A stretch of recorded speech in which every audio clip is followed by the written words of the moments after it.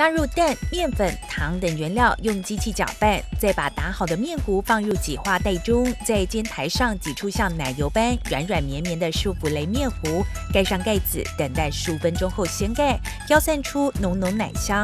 翻面后微焦的松饼皮，看了就令人垂涎三尺。舒芙蕾来讲，就是它会比较偏松软，对对对对对，质地不会说很硬。屏东市这个小摊专卖松软，就像云朵般绵密的舒芙蕾，业者自制多种口味的卡士达酱，搭配焦糖、珍珠、水果等配料，口味相当多元，最低只要铜板价。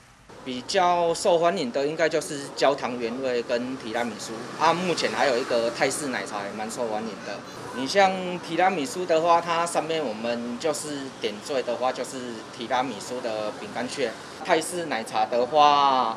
上面是直接，我们是直接用那个小麦豆，它吃起来那个口感算比较融合啦。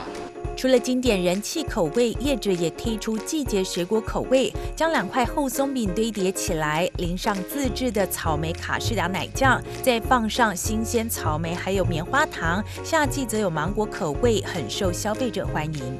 真的很好吃，它里面就 Q Q 的，外表是酥酥的。然后草莓又是新鲜的，然后整个都有草莓香。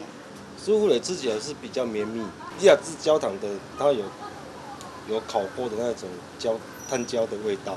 他们他们是每有时候会换新换新啊，也有时候要看季节，有时候是草莓，有时候是芒果，不一定啊。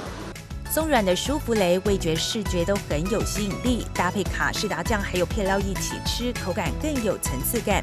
为了呈现舒芙蕾最完美的口感，业者采现点现做，提供顾客外带。为避免久购，建议提前预定。